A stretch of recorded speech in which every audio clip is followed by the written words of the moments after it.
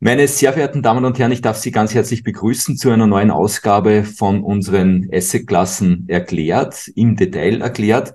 Und heute wird sehr spannend. Äh, ich habe einen besonderen Gast heute auch hier. Das ist ähm, der Kevin Riedel. Es geht um Kryptowährungen. Äh, Kevin, hallo zunächst einmal. Hallo, hallo. Ja, servus Jörg, äh, servus alle, die zuschauen. Ja, freue mich hier zu sein und ja, danke für die Einladung. Sehr gerne, sehr gerne. Du sitzt ja mit deiner äh, Wayfact GmbH in der Nähe von Innsbruck, soweit ich weiß, ja? Ja, genau. Also im Zentrum der Alpen. Ja, sehr gut, wunderbar. Und du bist ja, ähm, wir kennen uns jetzt schon, schon doch eine, eine Zeit, du bist ja Experte im Kryptobereich. Du bist Managing Partner der Wavect äh, GmbH. Äh, du beschäftigst dich mit dieser Agentur mit Web3 Software. Ähm, ich als Oldschool no, bin ja da ziemlich hilflos ausgeliefert, muss man sagen. Äh, womit beschäftigt sich eine Web3 Software Agentur eigentlich? Ja, danke fürs Intro, Jörg. Ähm, ja, was ist Web3? Im Endeffekt beschäftigen wir uns als Agentur mit modernen Technologien, ja, mit Fokus auf Blockchain, so die Technologie, die hinter diesen Kryptowährungen steckt. Mhm. Und ja, das kann umfassen von Infrastruktur, ja, also wie man als User mit Kryptowährungen hantieren kann, also diesen sogenannten Krypto-Wallets. Mhm. Da bauen wir zum Beispiel gerade eine, bis hin zu Programmen, die auf der Blockchain laufen, ja. Das heißt, dass Leute ihre Kryptowährungen, äh, Kryptowährungen umtauschen können, bis hin zu ähm, Wenn es um Identity Solutions geht, ja, also ich bin die und die Person, äh, ich kann das und das machen. Privacy Solutions, also wenn es um Privatsphäre, Kryptographie geht. Ähm, aber auch, das ist jetzt oftmals nicht mehr direkt Teil von Web3 bis hin zu Smart City IoT-Lösungen. Äh, was heißt das? Ich gehe durch die Straße zum Beispiel oder ich fahre mit dem Auto mhm. und die Straßenlaternen gehen ein, wenn ich komme und gehen aus, wenn ich vorbeigefahren bin. Ja, solche Geschichten. Spannend, spannend, ja. Also ein breites Feld kann man sagen. Ähm, du hast eine inzwischen lange Historie, du bist Software-Engineer mit über zehn Jahren Erfahrungen äh, in neuen Technologien. Du beschäftigst dich, beschäftigst dich jetzt hauptsächlich eben mit der Blockchain, das seit über sechs Jahren. Ähm, spannend natürlich äh, da näher das kennenzulernen. Und äh, wir wollen uns heute eben mit Kryptowährungen beschäftigen als Assetklasse. Ja? Manche meinen ja, äh, dass es vielleicht überhaupt nicht in ein Depot gehört. Äh, manche sind äh, durchaus Verfechter des Ganzen. Das heißt, es lässt aber keinen kalt. Entweder man ist dafür oder man ist dagegen. Dazwischen ist fast nichts. Ja? An der Stelle darf ich vielleicht noch ganz kurz äh, den Disclaimer anbringen. Die Informationen, die wir hier allgemein, äh, äh die, die wir hier bringen, sind allgemeiner Natur, äh, sind weder Analyse noch Angebot. Äh, jede Kapitalanlage äh, ist mit ein oder mehreren Risiken verbunden und äh, Werterenditen von Finanzinstrumenten sowie sonstige Anlageformen können steigen und fallen. Das ist keine Anlageberatung. So, dem Recht Genüge getan. Ähm, steigen wir ins Thema ein. Kryptowährungen. Ich glaube, am Anfang ist es ganz einmal wichtig äh, zu klären, was, was, äh, was ist überhaupt, äh, was sind, woher kommt das Wort Krypto und was kann man sich eigentlich darunter vorstellen? Ja, also grundsätzlich glaube ich, sollten wir mal hinter äh, zwischen drei Formen des Geldes unterscheiden. Ja. Ich glaube, zwei Formen sind äh, jedem sehr gut geläufig. Das ist einmal das Bargeld. Ja, also ich, Entschuldigung, besitze das in meiner Geldtasche. Ja, also mhm. das kann mir niemand wegnehmen, außer äh, ich werde gewaltsam bedroht oder wie auch immer, ja, oder mir wird es aus der Tasche gezogen. Das habe ich in meiner Hosentasche. Ja, das hat natürlich einen gewissen Vorteil. Wenn wir jetzt einen Schritt weiter denken, hat es den Nachteil, ich kann jetzt nicht meinen 10-Euro-Schein einfach so instant direkt jemanden in den USA geben, übergeben, weil halt einfach die geografische Distanz zu groß ist. Auf der anderen Seite wiederum wissen wir auch, Bargeld ist sehr viel schwerer zu nachvoll nachzuvollziehen. Ja, also das ist, warum es auch heute noch für kriminelle, kriminelle Zwecke ähm, hauptsächlich verwendet wird. Mhm. Ja. Und das ist mal der erste Punkt, ja, das ist Bargeld. Seit einigen Jahren gibt's glücklicherweise auch dieses digitale Geld. Ja, also das ist das, was wir auf unserem Bankkonto, Sparkonto haben oder auch wenn wir in irgendwelche digitale Assetklassen investieren. beispielsweise Aktien, Anleihen, was auch immer. Und hier ist es so, dass das Bargeld, also das Geld selbst als Wert eigentlich nur auf mehreren Computern gespeichert wird. Das heißt, ein paar Computer könnten theoretisch, ja, wenn nicht der Mensch irgendwelche Richtlinien und Gesetze geschaffen hätte, damit das nicht so einfach ist, diesen Wert ändern. Das heißt, jemand könnte jetzt, wenn er wirklich böse Absichten hat, unser Pensionskonto löschen. Theoretisch, ja. Mhm. Passiert natürlich so jetzt einfach nicht. Aber wir sehen es ja in Fällen wie, wenn die Banken pleite gehen und so weiter und zumachen. Ich kann das Geld nicht einfach aus der Bank nehmen. Das ist äh, Vor- und Nachteile. Das ist schon Bankrun dann, ne? Wenn, wenn, genau. man die Menschenschlangen vor Banken sieht, die verzweifelt versuchen dann noch das Geld abzuheben, wenn man schon weiß, die Bank geht bankrott. Ne? Genau. Ja, also das sind so die zwei Formen von, von Geld, die wir eigentlich aktuell heutzutage haben. Und deswegen, aus diesem Painpoint heraus, hat sich tatsächlich um 2008 herum, ja, und der Zeit der Finanzkrise, Bitcoin langsam herausgebildet. Mhm. Ja, und Bitcoin ist so eigentlich so die erste äh, bekannte Kryptowährung, sage ich jetzt mal. Und die basiert eben auf dieser neuartigen, äh, nicht komplett neuartigen, aber in dieser Form bis dato noch nicht produktiv eingesetzten mhm. Technologie, Blockchain. Mhm. Ja. Und diese Blockchain hat ähnlich zum digitalen Geld natürlich diese Eigenschaft, ich kann von A nach B Geld schicken, also von jetzt von Österreich in die USA in ein paar Minuten, also sogar schneller, mhm. als wie wenn ich es jetzt traditionell über die Bank überweise, weil nicht viele Intermediäre dazwischen geschalten sind. Mhm. Und warum geht das? Das ist jetzt die Frage, woher kommt dann eigentlich dieser Begriff Krypto? Der Begriff Krypto kommt jetzt aus diesem, aus dieser Funktionsweise heraus, wie dieses dieser Wert eigentlich von A nach B gelangt. Mhm. Weil, wie wir uns vorstellen können, wenn jetzt nicht mehr viele verschiedene offizielle äh, Institutionen äh, diesen Wert bei sich in der Datenbank, also auf ihrem Computer dazuzählen, also wie in einem Excel-File mhm. sozusagen, plus 100, äh, dann schicken sie es weiter, in dem Excel-File minus 100 und dort machen sie wieder plus 100 und so weiter und so fort und nehmen auch jedes Mal einen kleinen Cut natürlich für ihren genau. Service. Mhm. Ähm, das ist bei Krypto nicht so. Es ist wirklich Peer-to-Peer, -peer, geht es direkt, ohne dass da irgendwelche Companies direkt dazwischen geschalten sind. Mhm. Mhm. Wie funktioniert das? Weil ich, das geht ja nicht einfach so. Es hat ja einen Grund, warum es Banken gibt. Die sind, die erfüllen eine sehr wichtige, also sehr wichtige Eigenschaften der Gesellschaft, ja, mit unter anderem. Und diese Technologie, die dahinter steckt, ermöglicht es einfach über kryptografische, sage ich mal, Mechanismen mhm. und Algorithmen, dass eben dieser Wert von A nach B geschickt wird. Und aus diesem Ursprungsgedanken heraus hat sich der Begriff Kryptowährungen, okay. der leider heute auch sehr negativ behaftet ist, gebildet. Ja. Okay, spannend. Ja, das habe ich so auch nicht gewusst. Ähm, sehr gut. Das heißt, wir haben jetzt mal die Herkunft äh, des Wortes geklärt. Ähm, gehen wir vielleicht zu Kryptowährungen über. Ne? Was sind denn die bekanntesten Kryptowährungen und wie viele gibt es eigentlich grundsätzlich? Also über den Daumen, es kommt ja ständig was dazu und, und äh, vielleicht auch dann wieder weg. Ähm, wie viel sind im Laufe der Zeit eigentlich auch dann wieder verschwunden? Ähm, hast du da einen, einen Überblick? Und ähm, es gibt ja spezielle Börsen dafür, ähm, wie wird denn dort eigentlich die Liquidität auch zur Verfügung gestellt? Ja? Also so wie, wie bei einer normalen Börse unter Anführungszeichen normal, wie wir sie kennen bei Aktien und, und so weiter, gibt es ja einen Market Maker, der für die Liquidität zuständig ist zum Beispiel. Ne? Ähm, ist das bei Kryptowährungen auch so, bei, bei Börsen im Kryptobereich? Vielleicht, wenn du uns da ein wenig erzählen könntest, das wäre das wär schön. Natürlich. Ähm, super Fragen, by the way.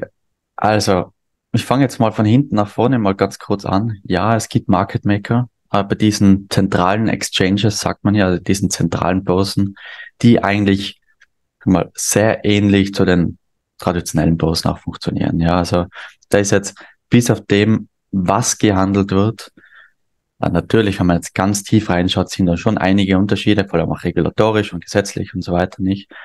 Aber auf der technischen Funktionsweise sind es auch im Endeffekt nur, Sie haben einen, oder ein Set von Computer. Bei einem Computer machen wir einfach ein Excel-File, wo sie dazu schreiben, wenn wer welchen Trade gemacht hat. Da gibt's die Market Makers für die Liquidität. Alles identisch. Ja, also natürlich gibt's da Unterschiede. Ja, aber die grundsätzliche Funktionsweise, auch wie Liquidität bereitgestellt wird äh, und wie Assets auch gelauncht werden, das ist in Krypto sowieso generell ganz, ganz spannend ist. Sehr oft oder fast immer, vor allem bei den reiferen Finanzprodukten im Kryptomarkt, immer angelehnt an den traditionellen Bereich, ja, mhm. weil man ja weiß, was schon funktioniert mhm. und was nicht so funktioniert. Mhm. Um, ich hoffe, das beantwortet mal den zweiten Teil der Frage, sonst bitte unterbrechen. Und der erste Teil war ja, welche Kryptowährungen gibt es so und wie viele verschwinden und genau. so weiter und so fort. Mhm. Das ist jetzt tatsächlich gar nicht so leicht zu beantworten, weil zum einen müssen wir mal erklären, was ist jetzt in diesem Kontext eine Kryptowährung, weil es gibt viel, also da gibt es viele verschiedene Ansätze, wie man das jetzt definieren kann. Ich möchte es jetzt gar nicht kompliziert machen, aber grundsätzlich gibt es da Unmengen. Ja, also wenn man jetzt wirklich alles mit einbezieht, da werden jeden Tag wahrscheinlich Tausende von Kryptowährungen gemacht, erschaffen und verpuffen mhm. innerhalb von 24 Stunden im Nichts. Ja. Was ja, was ja auch in Wahrheit nicht dazu beiträgt, um äh, Vertrauen zu schaffen. Ne? Also ich denke da nur an den, den äh, Elon Musk mit seinem, wie hat der geheißen, Dogecoin oder? Dogecoin, ja. Genau. Also äh, da wird ja auch sehr viel Unfug damit betrieben. Ne? Ja, obwohl man muss jetzt dazu sagen, äh, Dogecoin hat schon um einiges mehr, also ich möchte jetzt nicht sagen Sinn, weil Sinn hat es jetzt nicht in dem Sinne. Mhm. Ähm, aber mit Dogecoin kann ich etwas machen. Ja? Während ich das mit 99,99 Prozent aller Kryptowährungen nicht kann. Die sind wirklich nur da, um Geld einzusammeln mhm. und dann wird's verkauft. Ja. Mhm. Ähm, aber um da jetzt gleich mal jeden Zuhörer ein bisschen zu beruhigen, an diese Kryptowährungen kommt man auch nur, wenn man sich wirklich auskennt. Das heißt, die könnt ihr auch wirklich nur kaufen, wenn ihr wirklich wisst, was ihr macht. Oder grundsätzlich wisst, was ihr macht. Ja, sind nicht so einfach zugreifbar. Mhm. Nein, es gibt ja die bekannten, ne? also es gibt Bitcoin, äh, Ethereum zum Beispiel und, und vielleicht noch ein paar andere. Ne? Also im Grunde haben sich ein paar durchgesetzt bis dato. Ähm, die Frage ist halt, ähm, wie, wie geht, wie, wie wird's da weitergehen? Also es ist immer schwierig. Ähm, hast du da eine Einschätzung für uns? Oder fangen wir vielleicht die Frage anders an, am Beispiel Bitcoin. Ähm, wie funktioniert Bitcoin? Wofür wird's gebraucht und uh, warum ist es eigentlich erfunden worden? Ja? Ähm, und dann eben, wie siehst du die Zukunft von eben dieser Kryptowährung im Speziellen? Uh, allein über diese Frage könnte man jetzt, ja, glaube ich, äh, zwei, drei Stunden sprechen, ja, durchwegs. Ähm, mhm. Also ich fange jetzt mal da, damit an, warum existiert Bitcoin? Ja, also da gibt's jetzt tatsächlich auch schon wieder zwei, drei Lager, sehr dogmatische Lager. Also wenn ich da jetzt falsche sage oder nicht auf jeden eingehe, dann bekomme ich da vielleicht eine kleine Backslash, wie man so sagt. Also ähm, im Endeffekt, der Ursprungsgedanke von Bitcoin war jetzt ja wirklich, dass man gesagt hat, hey, 2008, Bankenkrise äh, und so weiter und so fort. Ich möchte mein Geld selber in die Hand nehmen. Wie das mhm. Bargeld, ich möchte es in der Hosentasche haben. Ich möchte nicht mehr abhängig sein von dem Ganzen. Mhm.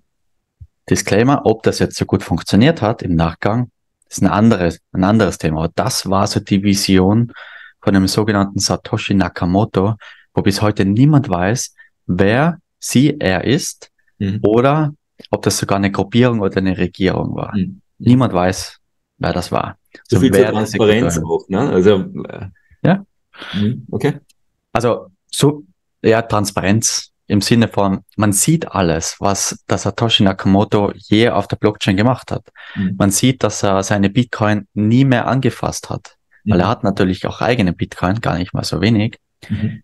Das Deshalb gibt es natürlich einiges an Verschwörungstheorien. Entweder er ist gestorben, er ist okay. whatever. Ja. Wie viel, wie viel Bitcoin gibt's jetzt eigentlich? Es ist ja begrenzt, soweit ich weiß, ne? Genau, also ähm, grundsätzlich mal eins vorweg, bei jeder Kryptowährung ist es komplett anders. Mhm. Bei Bitcoin selbst war so der Gedanke, okay, es gibt 21 Millionen Bitcoins maximal, immer, also für immer. Das wird auch nicht geändert, ja? Das kann man, also grundsätzlich kann man schon ändern, wenn über 50 Prozent oder ein großer Teil der Leute, die Bitcoin betreiben, ja, mhm. da kommen wir später vielleicht mal kurz dazu, dem zustimmen. Mhm. Dann kann man das ändern, aber das wird nicht passieren, weil die Bitcoin-Community super dogmatisch ist. Ja, die bekommen fast gar keine Änderungen zustande, deswegen mhm. auch. Okay. Das heißt, ähm, wenn ich ja? nur ganz kurz dazwischen gehen darf, man hat ein begrenztes Angebot mit sehr viel Nachfrage. Hm? Ja, was auch sehr viel Nachfrage ist immer relativ, oder? Aber genau, ja, hm. absolut. Gut. Ähm, ja, lass ich dich mal. Nein, nein, bitte. Also wir waren eben bei Bitcoin. Ähm, wir haben jetzt geklärt, wer es erfunden hat, wahrscheinlich. Ne?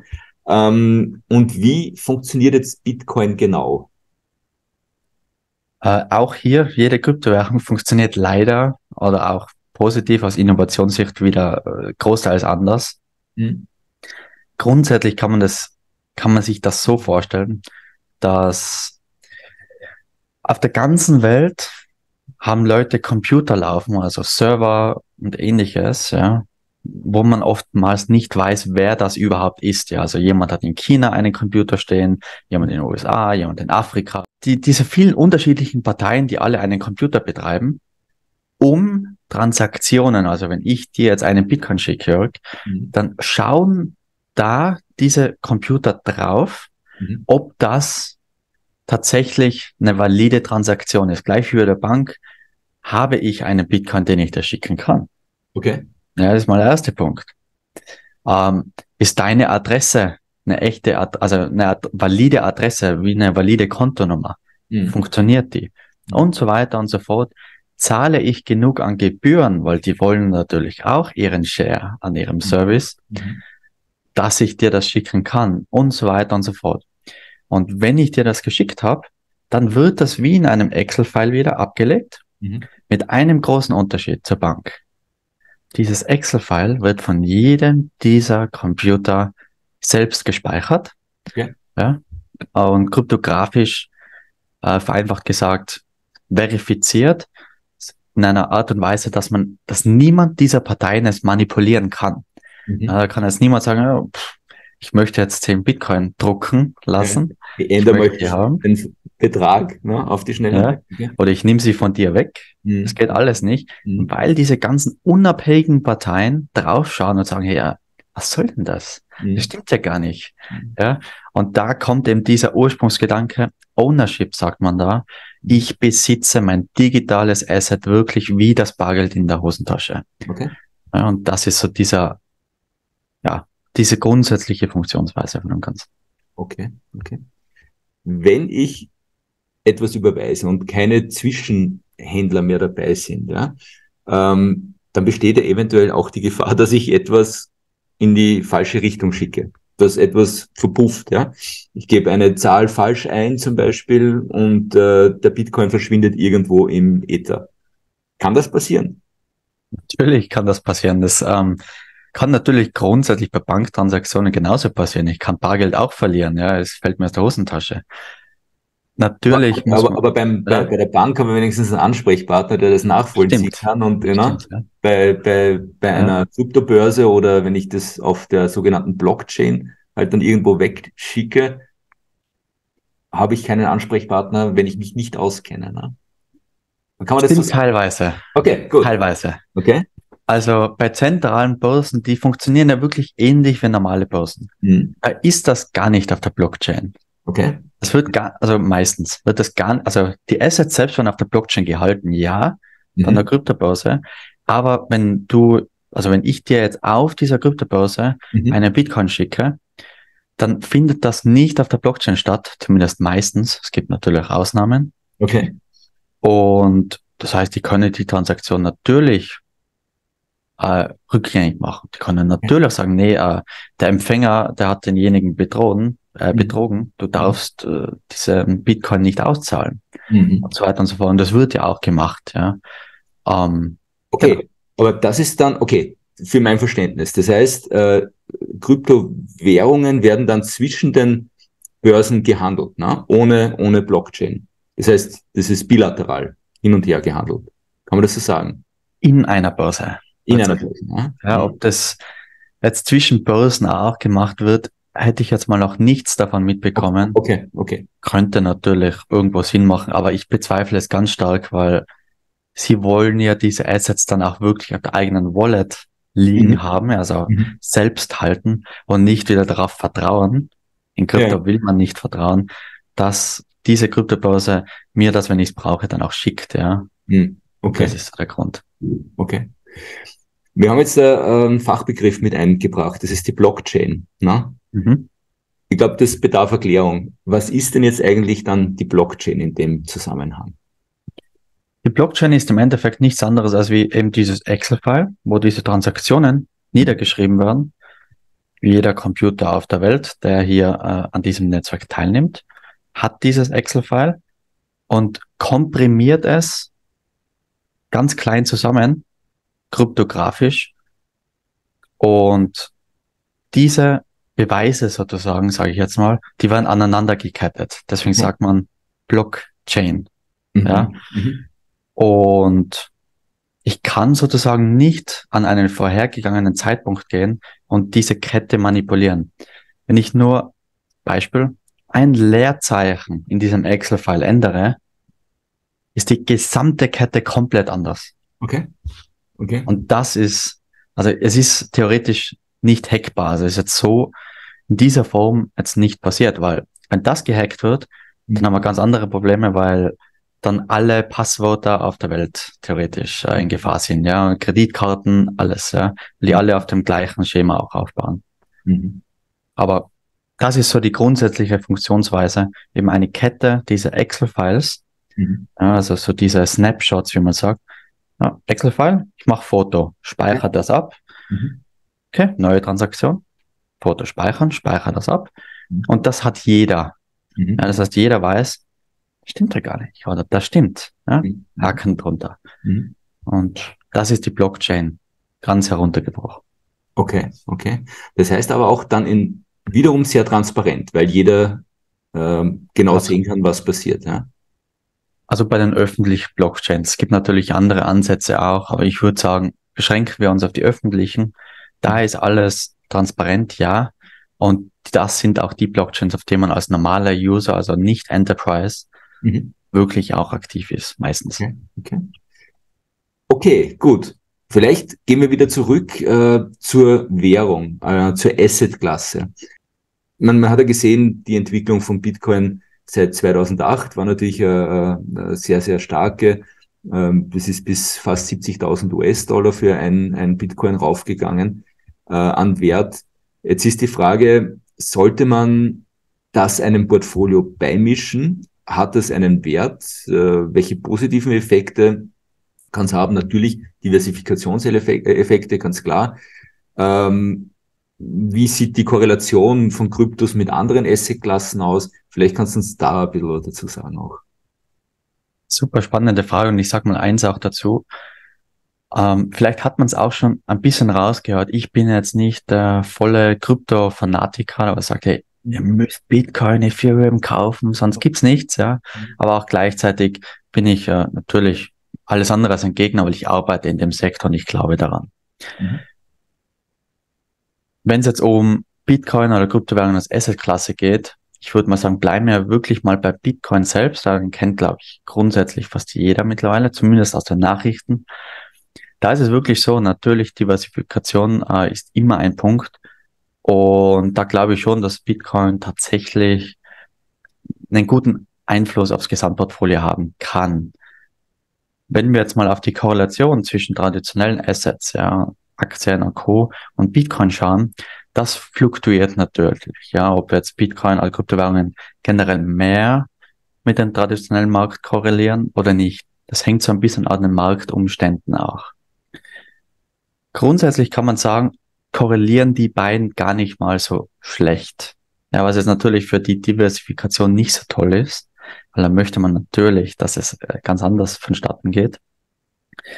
Allerdings, wenn wir jetzt mal ein Dreivierteljahr zurückschauen, ja, wo, wo wir das mit der Silicon Valley Bank zum Beispiel gehabt haben in den mhm. USA und mhm. so weiter und so fort, wo es da diesen Bankrun gegeben hat, mhm. da ist Bitcoin plötzlich losgeschossen. Warum? Weil das die ursprüngliche These war, von Bitcoin, hey, ich besitze das Geld und die Bank kann mir nicht verwehren, also den Zugriff darauf verwehren. Mhm. Da ist Bitcoin plötzlich, also verhältnismäßig im Prozent durch die Decke gegangen, ja. Eben aus diesem Aspekt heraus, ich bin nicht abhängig vom traditionellen Finanzsystem. Das heißt, Investmentthese, äh, wenn man so denkt, könnte natürlich durchaus spannend sein, dass man sagt, hey, ähm, ich glaube nicht an den traditionellen Markt. Ich glaube nicht, dass das Finanzsystem so in 50, 100 Jahren weiter existiert. Ja, gehöre ich nicht dazu, by the way. Mhm. Dann ist das durchaus valide und bestätigte, aktuell zumindest, Investment-These, hätte ich behauptet. Mhm. Wenn man sich die klassischen Märkte anschaut, wie Aktien, Rentenmärkte, äh, und so weiter, ähm, dann hat man natürlich, äh, ja, auch dadurch, dass man ständig drüber hört und das seit, seit sehr, sehr langer Zeit, auch Vertrauen. Ne? Man hat Historie dazu, man äh, hat ein System, das funktioniert, man bekommt Dividenden, äh, man kann alles nachprüfen.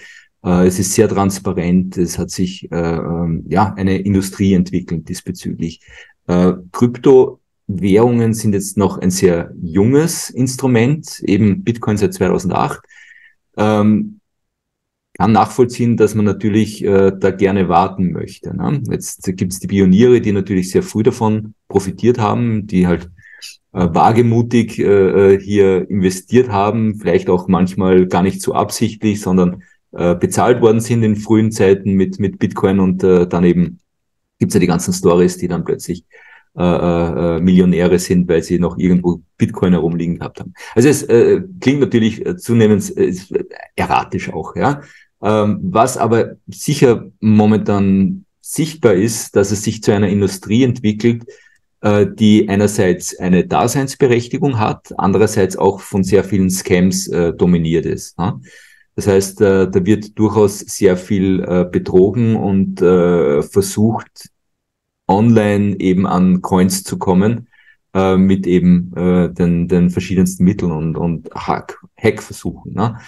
Ähm, das heißt, das bringt einen ja irgendwo in die, die Richtung, wie sicher ist denn das? Ich meine, äh, wie, wie kann man denn überhaupt in Krypto investieren?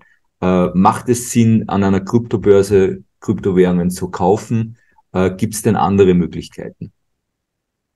Das ist äh, tatsächlich eine Frage, mit der sich der gute Markt sehr viel beschäftigt auch. Und da gibt es tatsächlich sehr viele coole, spannende Ansätze. Ja. Also vieles davon, was ich jetzt sage, kann in ein, zwei Jahren schon irrelevant sein. Oder generell, dem, was wir da heute besprochen haben.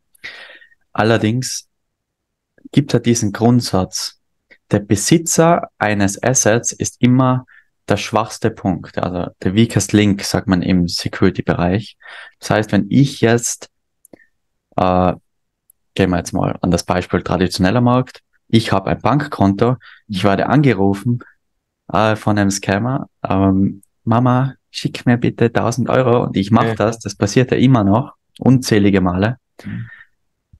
Dann passiert das, ja, also da, da kann der Krypto und der traditionelle Markt machen, was sie wollen, können dich fünfmal fragen, bist du sicher? Ja. ja, ja, ja. Es passiert dann trotzdem, ja, weil es gibt ja immer so diesen, diesen Trade-off, ja, also diese, diesen Spalt, sage ich jetzt mal, zwischen Kontrolle, ich kann mit meinem Geld machen, was ich will, mhm. und wie sehr werde ich jetzt überwacht, wie sehr werde ich kontrolliert, wie sehr werde ich beschützt, ja. Beides seine Daseinsberechtigung, beides wichtig. Und der Kryptomarkt kommt halt eben aus dieser Ecke, aus diesem Painpoint heraus. Mhm. Ich möchte das Ding wirklich besitzen.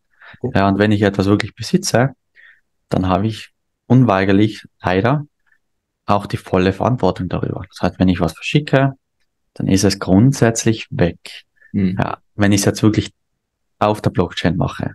Mhm. Und da im Endeffekt nochmal zurück zur Sicherheit, wenn man von diesen Scams hört, dann ist das eigentlich immer, oder zu, sag jetzt mal 85 Prozent, um ganz ehrlich zu sein, eigentlich immer, weil der User jemanden vertraut hat, dem man nicht vertrauen hätte sollen. Mhm. Die anderen 15 Prozent sind tatsächlich Hacks mhm. Und die basieren darauf, weil auf der Blockchain tatsächlich der Programmcode, den Programmierer wie ich entwickeln, Bugs drinnen sind, muss man leider so auch sagen. Und diese Bugs, die kann man nicht einfach so korrigieren, mhm. weil die Blockchain unveränderlich ist. Wie wir gehört haben mit diesen Screenshots, da machen die auch Screenshots von diesen oder Fotos von diesem Code. Und dieser Code, da kann ich dann auch kein Leerzeichen dazu machen. Mhm. Geschweigen, Bug fixen, äh, Bug korrigieren, dass diese Sicherheitslücke nicht auftritt. Gibt's natürlich Wege. Ja, also für diese ganzen Probleme, die der Kryptomarkt hat, gibt's unzählige Ansätze, dass man den Code einfach und schnell korrigieren kann. Es gibt, wie im traditionellen Markt, wenn man jetzt Software für den Flugbetrieb, ja, zum Beispiel programmiert, da, da hängen Menschenleben dran natürlich. Mhm. Da gibt's auch diese Security-Auditoren, die auf diesen Code nicht nur einmal draufschauen, sondern Zeile für Zeile, Buchstabe für Buchstabe, mhm. ob die auch, diese Security-Experten der Meinung sind, dieser Code ist sicher genug, um Menschen da zum Beispiel reinzulassen. Und das gleiche ist Krypto, da geht es allerdings halt dann, in Anführungszeichen, nur um Geld. Mhm. Auch in diesem Fall. Ich kann den Code nicht mehr ändern oder teilweise nur, nur noch ändern. Okay. Das ist so dieser, dieser Grund, warum es diese, warum wir vor diesen Scams teilweise hören. Mhm. Und natürlich auch fehlende Regulation. Leider immer noch. Ja, KYC und diese ganzen Geschichten, mhm. dass man wirklich auch weiß, hey, wer steckt dahinter, weil das ja auch nicht immer sicher ist und so weiter und so fort. Das mhm. sind so die drei großen Gründe, hätte ich gesagt, warum Scams immer noch leider in sehr großen Bereichen, Kryptobereich auftauchen und ja. Okay. Zur, zur Investition in Kryptowährungen selber vielleicht zurückzukommen. Ähm, es gibt eben genau die Frage, äh, wie kann ich jetzt investieren? Ne? Wie kann ich über klassische Kryptobörsen wie, keine Ahnung, Bitbanda oder wie sie alle heißen, ähm, direkt in Kryptos investieren. Inzwischen gibt es aber auch äh, Finanzprodukte, sei es jetzt Zertifikate, äh, sei es äh, äh CFDs beim, beim Broker direkt, ähm, wo ich eben in Kryptowährungen investieren kann. Ähm, das heißt, der Vorteil besteht natürlich dann darin, dass ich nicht an eine Kryptobörse gehen muss, sondern dass in meinem klassischen Bankdepot, in meinem Online-Depot reinkaufen kann. Ne? Ähm, wenn wir uns jetzt anschauen, wir haben jetzt über Bitcoin gesprochen. Ne? Was würdest du als, das ist ein bisschen schwierig, die Frage natürlich jetzt zu beantworten, aber äh, welche, welche Coins, welche Kryptowährungen würdest du als investable bezeichnen? Wo kann man sich engagieren?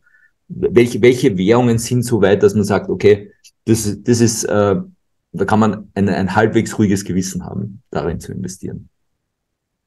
Um, ähm, um auf deine erste Frage zurückzukommen, traditionelles Instrument, um in Kryptowährungen zu investieren, finde ich aus einer Perspektive super spannend. Ich habe diesen Security-Sicherheitsaspekt nicht. Ja. Ich bin ja eigentlich im traditionellen Markt. Das heißt, ich habe die Vor- und Nachteile dieses Marktes, mhm. kann aber am Gewinn der Kurssteigerung von diesen genau. zugrunde liegenden Kryptoassets partizipieren. Das heißt, wenn jetzt da irgendwas gehackt wird, dann habe ich trotzdem die Garantien, die mir der traditionelle Markt, die Regulation bietet. Also wenn jetzt die, also der Emittent eines Zertifikats zum Beispiel gehackt wird, mhm. habe ich als Investor, nehme ich jetzt mal ganz stark an, weniger Kopfschmerzen als wie der Emittent selbst. Ja, und das ist, glaube ich, auch so ein, ein Aspekt, den man hier auch gerne, glaube ich, als Investmentthese mitnehmen kann. Ich bin hier im traditionellen Markt, wenn ich mich gar nicht auskennen möchte oder auskenne, tatsächlich sicherer aufgestellt, weil ich diese Verantwortung nicht habe. Mhm. Zurück zu deiner Asset-Frage. Grundsätzlich, umso größer der Market Cap, also die Marktkapitalisierung, desto besser natürlich, wenn es um Schwankungen geht. Und da sind natürlich Bitcoin und Ethereum die zwei größten, bei weitem. Und das Spannende hier ist, eins vorweg, der gesamte Kryptomarkt richtet sich immer noch ganz stark an Bitcoin als eine Art Leitwährung, Leitindex kann man fast schon sagen. Das heißt, wenn Bitcoin extrem steigt, steigen die anderen Krypto Kryptowährungen noch mehr. Okay. Okay weil die Marktkapitalisierung kleiner ist. Und umgekehrt, wenn Bitcoin fällt, fallen die, fallen die anderen noch mehr. Und das ist einfach schon mal im Vorhinein zu berücksichtigen, wenn man Kryptoassets investiert, dass die grundsätzlich recht gekoppelt sind. Also die sind alle ein bisschen voneinander abhängig. Und um jetzt konkret zu werden, in was würde ich investieren? Keine Anlageberatung und so weiter und so fort. Frage. Ja, so. Bitcoin ist natürlich, hätte ich jetzt behauptet, habe ich selbst, ist ganz transparent, sieht man ja auf der Blockchain. Mhm. Würde ich auf jeden Fall überlegen, ob es Sinn macht, das meinem Portfolio beizumischen. Mhm. Ja. Gerade aus diesem Aspekt heraus, es ist ja eine, ich würde das nicht sagen digitales Gold, wie viele sagen, ja, das ist auch eine Investmentthese von manchen, sondern vor allem auch so eine kleine Absicherung gegen das normale Finanzsystem. Mhm. Ja, auch wenn ich dran glaube, warum soll ich mich nicht absichern? Ja, das ist Diversifikation. Das ist mal so ein, ein Punkt natürlich. Das ist ein ganz anderer Markt und aus Diversifikationssicht ist das natürlich eine coole Sache, hätte ich jetzt mal behauptet. Das ist Bitcoin selbst. Ethereum wird dort schon spannender. Und da möchte ich jetzt nicht zu kompliziert werden. Ethereum, also dieses ETH, was einige von euch schon mal gelesen haben, das ermöglicht es einem, in komplexe Finanzinstrumente zum Beispiel zu investieren. Auf dieser dieser Blockchain gibt es sogar alle möglichen von, sag ich mal, Strukturen, die es im traditionellen Markt auch gibt. Ja, von Länderbauer, das heißt, man kann Kryptowährungen ausleihen, verleihen, man kann sie sich verzinsen lassen. So natürlich, wenn man sich vorstellen kann, besseren Zinssätzen als auf der traditionellen Bank. Man kann äh, die Assets auf ETH als Infrastruktur, als Blockchain handeln. Das mhm. heißt, zwischen anderen Kryptowährungen.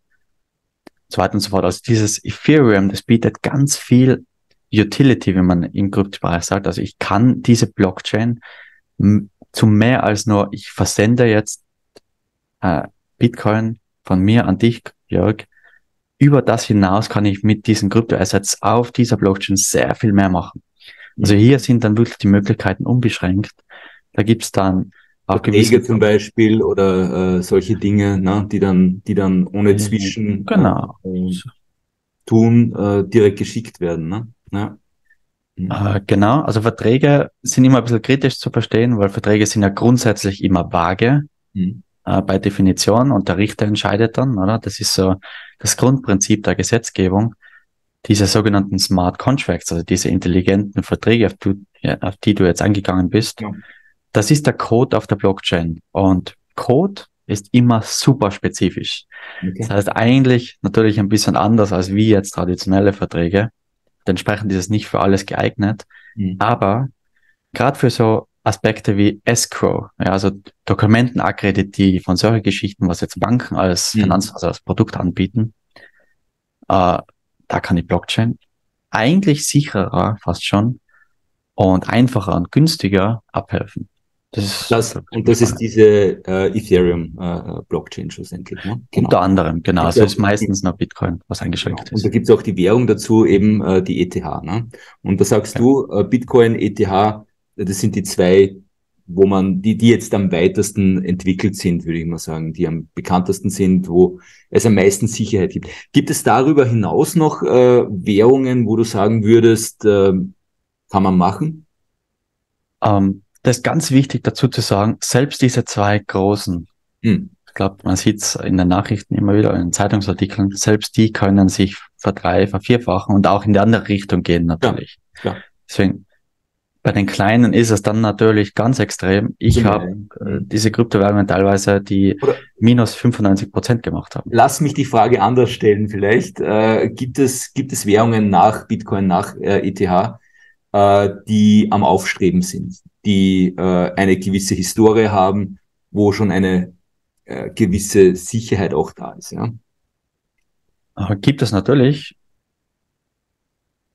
Ich nenne jetzt auch ein paar und dann sage ich einen kleinen Zusatzsatz. Kein Verkau keine, keine Verkaufsempfehlung natürlich, ist klar. Äh, nicht nur das, nicht nur das, sondern eben diese sogenannten Tokenomics. Ja, also hm. wer hält wie viel von diesem Coin? Also nur weil jetzt diese Kryptowährung cool ist und äh, Sinn macht auch hm. tatsächlich, oder die Infrastruktur, die diese Kryptowährung betreibt, unter anderem, mhm. heißt nicht, dass man als Asset da gut reingehen kann, weil vielleicht die Erfinder von dieser mhm. Kryptowährung 90 Prozent des Angebots besitzen. Ja, ja, klar. Das ist mhm. der andere Teil, den man immer auf dem Schirm haben sollte.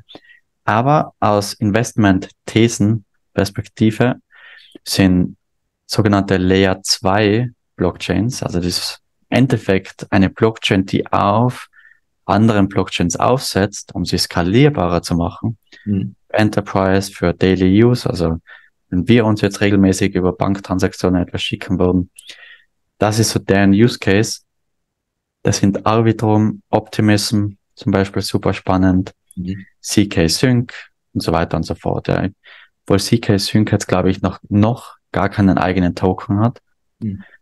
Aber das sind so Projekte, zum Beispiel Investment-These, die super spannend ist und extrem am Wachsen sind. Also das ist, wird eigentlich immer mehr bestätigt, dass die Leute von diesem Ethereum, ja, man sagt dieser Schicht 1 mhm. Blockchain, die mhm. langsam ist, ist äh, und teuer, also ich muss ja diese Gebühr an alle Computer zahlen, mhm. zu dieser Schicht 2 Blockchain übersiedeln, mhm. die auf dieser Schicht 1 aufbaut. Also wie eine Pyramide.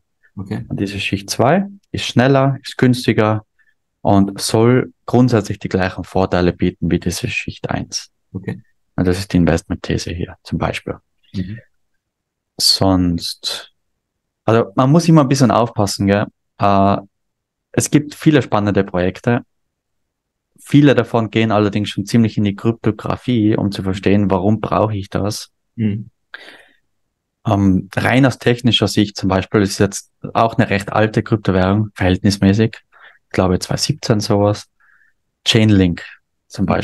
Mhm. Ist jetzt keine Kryptowährung, die ins Nirvana steigen oder fallen wird, mhm. ziemlicher Sicherheit, weil die ein funktionierendes Businessmodell haben. ist wirklich ein Unternehmen dahinter. Mhm.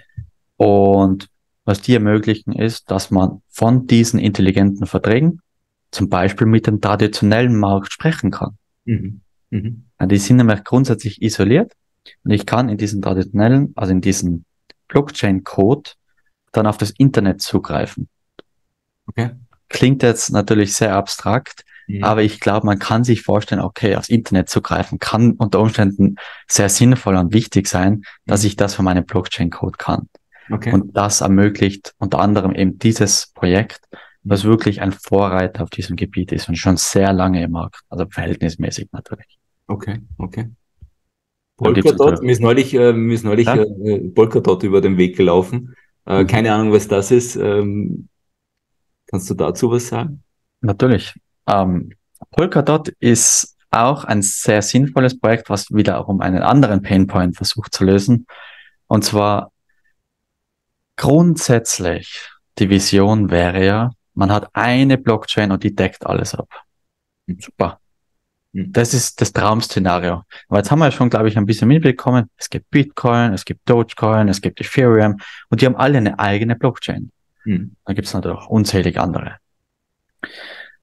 Das ist natürlich jetzt ein Problem. Das ist ja wirklich eine Infrastruktur. Das heißt, ich kann dir jetzt nicht von Bitcoin auf Ethereum Geld schicken. Klingt jetzt wieder abstrakt. Das ist wie, wenn eine chinesische Bank hm. nicht das Internet benutzt, ja. so ungefähr, sondern ganz was anderes. Die benutzt Funk zum okay. Beispiel. Okay. So ungefähr ist es. Ja. Das geht einfach so direkt jetzt einfach nicht. Da müsste wieder was dazwischen geschalten werden und äh, ich nehme das, ich nehme das und hier ist es. Ja, wie so ein Escrow-Service mhm. äh, im Endeffekt. Das ist natürlich gar nicht so einfach und auch hier passieren dann eben in der Kryptowelt wieder viele Hacks, oder die meisten Hacks eigentlich, von denen wir vorher gesprochen haben. Mhm. Eben in diesem Austausch zwischen Blockchains. Okay. Und wenn man von Hacks hört, dann ist das fast immer das. Und Polkadot, Cosmos und andere ähnliche Projekte versuchen das zu lösen, indem sie sagen, wir machen ein Netzwerk aus Blockchains. Okay. Ganz vereinfacht heruntergebrochen. Das heißt, ich kann da wirklich diese Assets in standardisierter Art und Weise zwischen anderen Netzwerken hin und her schicken. Okay. Das ist der Painpoint, den sie versuchen zu lösen. Spannend, okay. Und das Polkadot natürlich auch sehr, sehr, sehr, sehr spannend. Also. Okay. Das heißt, da äh, gibt's immer wieder neue, Entwi neue Entwicklungen. Ähm, noch ein Begriff, äh, der vielleicht spannend ist, äh, Staking. Was ist mhm. denn das äh, und äh, Welche Vorteile hat das? Beziehungsweise Nachteile? Also grundsätzlich unter Staking versteht man ja, ich lege eine Kryptowährung irgendwo hin, ja, ob das jetzt eine Börse ist, ob das ein Smart Contract, also ein digitaler Blockchain-Code ist, da lege ich das wirklich hin, meine mhm. Kryptowährungen, und die werden verzinst. Okay. Ich bekomme was dafür. Mhm. Wie das funktioniert, hängt jetzt wirklich davon ab. Da gibt es unterschiedliche Modelle von ich verleihe diese Kryptowährung an jemand anderen und der zahlt natürlich mehr Zinsen und ich bekomme einen fairen Share, einen okay. fairen Anteil davon. Mhm. So einfach das typische Verleihen. Das heißt, das heißt, ich gehe auf eine Kryptobörse und dort habe ich die Möglichkeit, wenn ich äh, zum Beispiel Bitcoin äh, kaufe oder ETH, dass ich diese jetzt, wenn ich es nicht brauche, äh, sage, ich möchte das staken und dann bekomme ich praktisch Zinsen dafür, kann man so sagen. Ne? Genau, wichtig ist hier halt immer zu verstehen, was wird mit dem Geld gemacht. Genau, was wird mit dem Geld ja. gemacht. Mhm. Ähm, Verleihen ist ein Aspekt natürlich. Mhm. Ein anderer Aspekt ist das echte Staking. Das echte Staking hat was mit, jetzt muss ich wieder aufpassen, dass es einfach bleibt, mhm. mit diesem Konsensusmechanismus, sagt man zum tun. Also bei Ethereum zum Beispiel das sind ja diese vielen Computer auf der ganzen Welt, mhm. die eben verifizieren, dass die Transaktionen richtig sind. Okay. Ja. Die staken. Mhm. Die staken ihre Ethereum. Das heißt, wenn sie betrügen wollen, verlieren sie was davon. Mhm. Sie werden bestraft. Okay. Wenn sie was gut machen, also wenn sie sagen, wenn sie einfach ehrlich sind, bekommen sie Geld dafür, für okay. diesen Service. Mhm. Das ist echtes Staking. Und da müsste man, um da jetzt so teilzunehmen, grundsätzlich abhängig vom Dollarwert 30, 40.000 Dollar investieren, damit man da mitmachen darf. Okay, okay. Als kleiner Investor ist es natürlich meistens nicht so sinnvoll, sag ich mal, jetzt all in zu gehen, das sollte man ja generell nie. Nee. Und deswegen gibt es da jetzt solche Zwischenlösungen. Flexibles Staking, Liquid Staking, das sind alles komische Wörter. Im Endeffekt alles, was das ermöglicht ist, ich kann mit kleineren Beträgen an dem teilhaben. Okay. Also ich kann da mitmachen und bekomme halt Zinsen dafür. Aber ich nehme wirklich, ich mache wirklich die Blockchain sicherer im Endeffekt. Okay. okay. Das ist der Aspekt da dahinter. Spannend. spannend. Äh, aktuell, wir haben jetzt September 2023. Äh, was würde ich an Zinsen bekommen, wenn ich einen Bitcoin staken würde? Weißt du das? Außer also Bitcoin tatsächlich funktioniert nicht über Staking. Okay. Also das, den kannst du vielleicht verleihen mhm. auf einer anderen Blockchain, weil Bitcoin selbst, mhm. muss man dazu sagen, ist eine, klingt jetzt abwartend, ist aber nicht so gemeint, sehr dumme Blockchain. Ja. Also die kann nicht viel, außer ich versende Geld. Okay. Die kann noch ein paar kleinere andere Sachen, aber grundsätzlich passiert das auf den anderen Netzwerken, auf den anderen Blockchain-Infrastrukturen, okay. wo ich Zinsen bekomme, wo ich was mit den Kryptowährungen machen kann. Mhm. Und dort existiert Bitcoin in anderer Form natürlich auch. Okay. Okay, dann, äh, dann probieren wir es halt mit äh, Ethereum, ja, zum das Beispiel. Gut. Ja. Weißt das hängt natürlich, ja? Ja. Da, damit man Vorstellung davon kriegt. Also wenn jetzt, äh, keine Ahnung, ein Ethereum äh, äh auf äh, also stake, äh, was, was kriege ich da für Zinsen dafür? Also grundsätzlich hängt das natürlich vom Anbieter ab. Mhm. Lass mich mal kurz schauen. Da gibt's zum Beispiel dieses Rocket Pool, wo ich als Kleininvestor reingehen kann. Ja.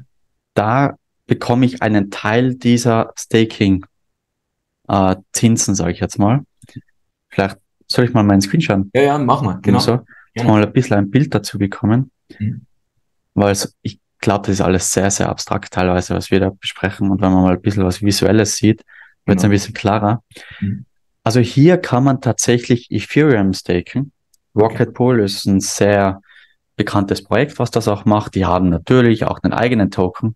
Das heißt, wenn man sagt, ja, ich finde es cool, was die machen, kann man in die ja auch investieren. Okay. Ja, mhm. aber grundsätzlich sieht man hier, da sind jetzt 809.000 ETH gestaked und ein ETH findet sich aktuell bei 1,5.000 Dollar. So ist das ist schon für einen traditionellen Markt jetzt nicht viel vielleicht, aber für einen Kryptomarkt ist es schon eine mhm. gute Summe. Mhm.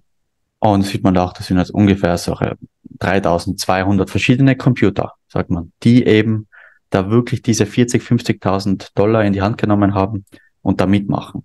Okay. So. Und wir können uns jetzt da entscheiden als Kleininvestor. Ich brauche mindestens 32 oder 8 ETH bei Ihrem Service. Mhm. Also auch immer noch sehr viel Geld, um damit zu machen. Mhm. Und habe wirklich einen eigenen Computer. Okay. Für die meisten nicht relevant.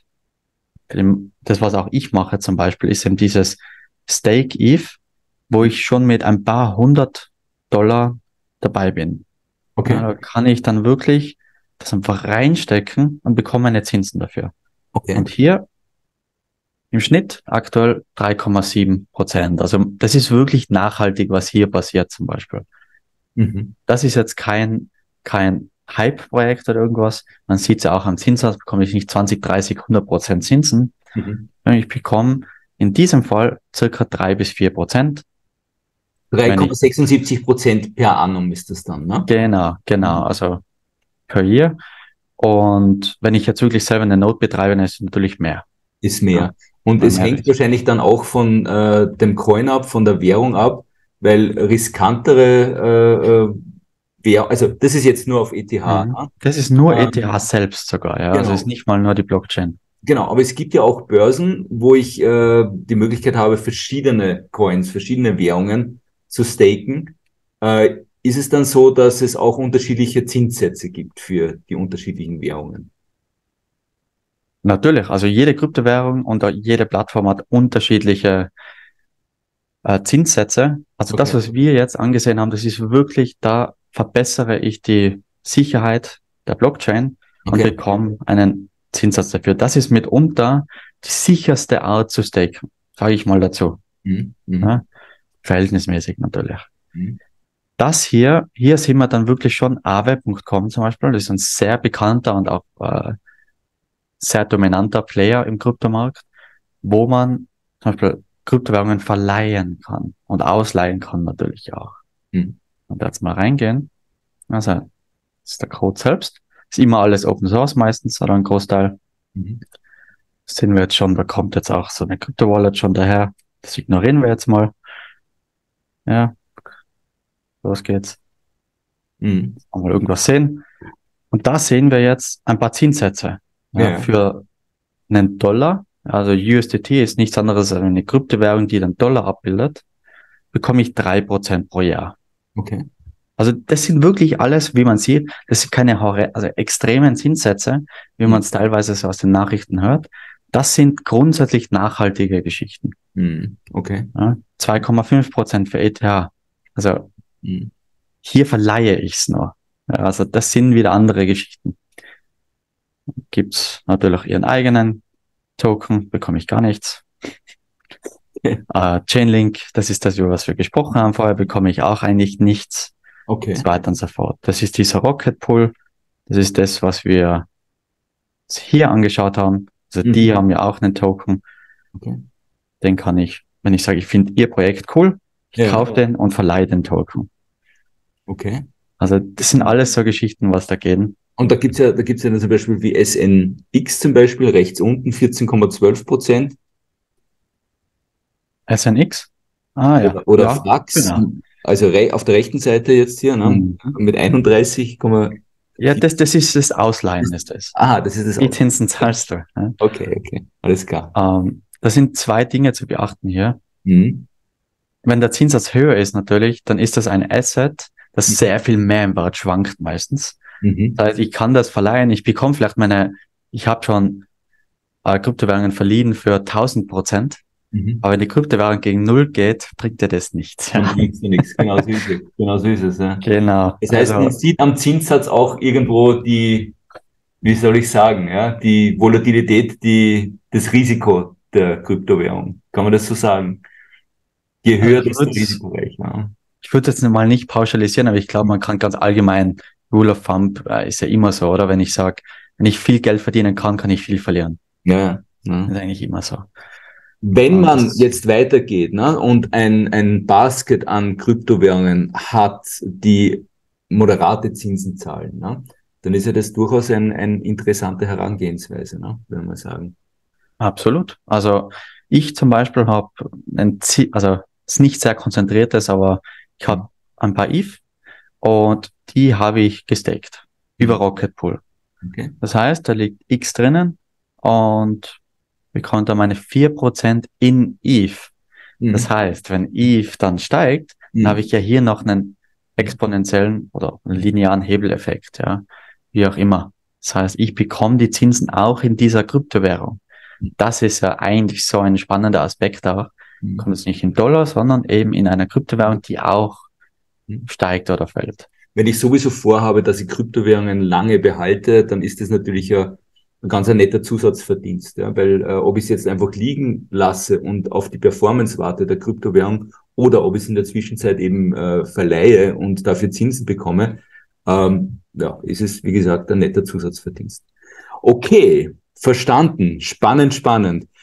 Kevin, wir haben bei Weitem schon überzogen. Es gibt 100.000 Fragen äh, zusätzlich. Wir könnten noch reden über grundsätzlich das Web 3, das Metaverse, über ähm, äh, NFTs zum Beispiel, ja, und, und äh, verschiedenste Dinge, die es da gibt. Aber ich glaube, das wäre ein Thema für ein anderes Mal, für ein zusätzliches Mal.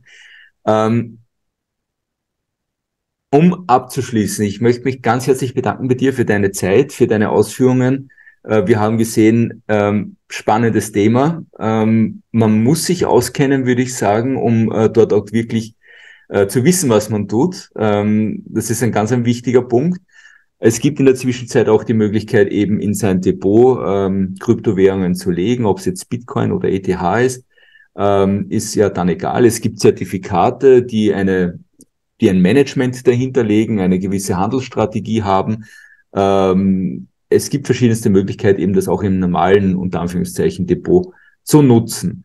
Ähm, eine Beimischung ist natürlich immer ja, eine Beimischung zum Depot, zum Portfolio ist halt immer die, die Frage, ob, ob Sinn macht. Jedenfalls verhalt, äh, verhält sich, äh, äh, verhalten sich Kryptowährungen nicht unbedingt so wie äh, klassische Aktien. Ein wenig Gleichlauf sieht man natürlich mit Tech-Aktien, mit, mit der Nasdaq. Ähm, das durchaus äh, äh, zu sehen.